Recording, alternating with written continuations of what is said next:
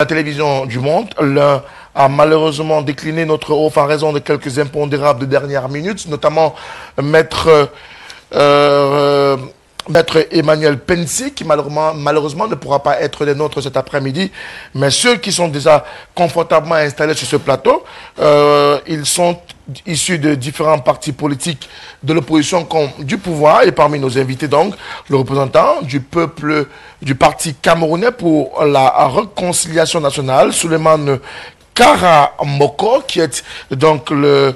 Euh, représentant régional du PCR, du PCRN dans la, dans, la région de la Damawa, c'est dans le septentrion du Cameroun. Monsieur Suleiman, bonjour, bienvenue sur ce plateau. Merci, euh, bonsoir. Bonsoir à tous les, mes copanélistes, bonsoir à tous, tous vos millions de téléspectateurs qui nous suivent à ce moment même. Et tout à fait, je viens de, fraîchement de, la région de la Damawa, de, voilà. de Ngaoundéré, pour partager ensemble les thématiques que vous venez donc euh, d'évoquer au sommaire à l'entame de, l'émission. Merci à vous d'avoir fait le déplacement de Ngaoundéré pour partager avec les téléspectateurs de la télévision du monde qui sont d'ailleurs très nombreux en Ngaoundéré et même dans la région de la Damawa qui nous suivent euh, tous les samedis dès 15h sur la télévision du monde à travers ce euh, programme. J'espère également que vous avez mobilisé la base pour poser les questions et qu'avec euh, vous et vos téléspectateurs, ou du moins vos militants de la base, nous pourrons échanger dans le cadre de cette édition. Parmi nos autres invités sur ce plateau, nous avons le représentant du mouvement, pour la renaissance du Cameroun, le MRC, très remuant ces derniers temps sur le terrain. Conseiller municipal Serge Sepo, de la circonscription de Douala 3e. Bon après-midi. C'est nouveau ça. Ah, Julien Sepo, pardon. Ah, pardon. Alors, j'ai eu un collaborateur, c'est Sepo, rassurez-vous. Julien Sepo, conseiller municipal à, à Douala 3e.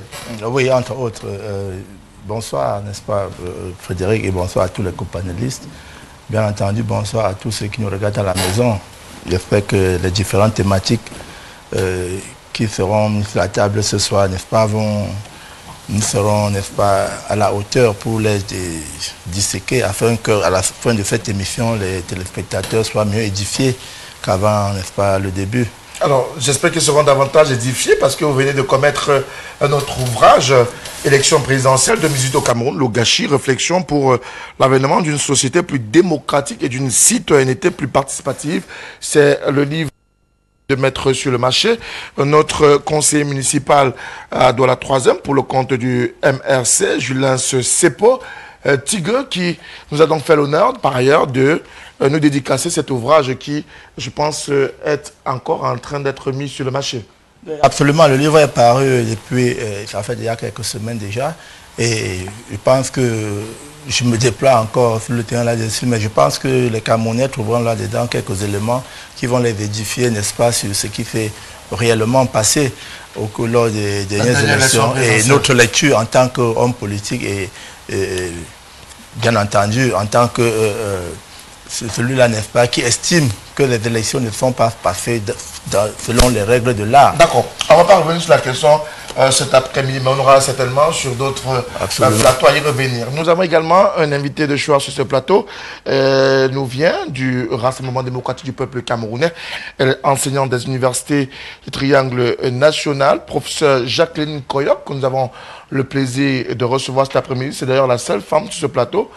Bon après-midi. Merci. Et aussi merci de m'avoir invité pour ce débat.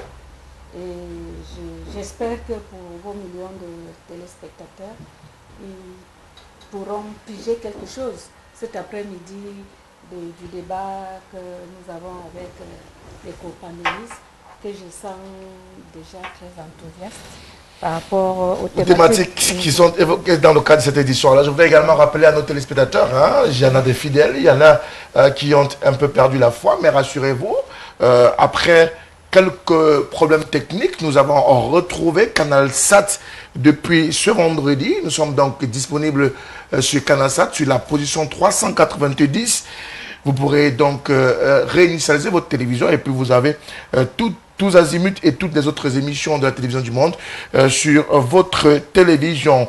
Merci donc d'être toujours euh, câblé LTM et dans le cadre de ce débat de cet après-midi. Alors nous ouvrons les thématiques bien évidemment avec euh, ce zapping. Le zapping, c'est une prise de parole pour chacun d'entre vous. Permettez-moi d'ouvrir avec Monsieur euh, Suleiman du PCRN. Vous savez, une actualité a défrayé la chronique, notamment mardi et mercredi, autour d'une annonce Adolphe l'Afrique qui serait décédé, ou du moins qui, avait, qui aurait été attaqué par les scissionnistes et qui aurait été gravement atteint. La vidéo a fait le tour. Quel est le commentaire que vous avez fait lorsque vous l'avez vu? Euh, Je crois que cette situation elle est désolante. D'abord, il faut comprendre que euh, la guerre de sécession qui a été lancée au, niveau, euh, dans la région du nord-ouest et du sud-ouest, en dépit d'être une guerre militaire, il y a d'abord une guerre de communication. Et cette, euh, cette vidéo qui a été lancée pour dire que le gouverneur a été attaqué, euh, ça fait partie d'un buzz, ou du moins, je, je, pense, pour euh, essayer de montrer qu'ils ils ont la situation les sécessionnistes, la bande armée a la situation en main, attaquer le gouverneur de, cette région ça, ils veulent juste monter leur posture de puissance. Maintenant, il va falloir éduquer le peuple camerounais en partageant ce genre de fausses informations. Et le gouvernement doit accentuer davantage, non seulement au niveau de la sensibilisation, ça doit se jouer à ce niveau-là, de partage de fausses informations, qui est d'ailleurs euh, un acte condamnable par, par, par la loi. Et les sensibilisations doivent continuer afin que ce genre de choses euh, s'estompent. Et ce ne fait pas seulement ce genre d'images qui circulent. Généralement, il y a des images d'atrocité que les gens partagent, qui heurtent la sensibilité des, citoyens camerounais. Et même au-delà, c'est sur la toile, c'est un monde, un, monde, un monde ouvert où on regarde à travers, au-delà des frontières. Et là, je crois que nous devons absolument arrêter et chercher à résoudre profondément la question de cette, de cette crise-là qui déjà a d'énormes conséquences sur le plan euh, socio-politique et économique également du, euh, du Cameroun. Je lance CEPO.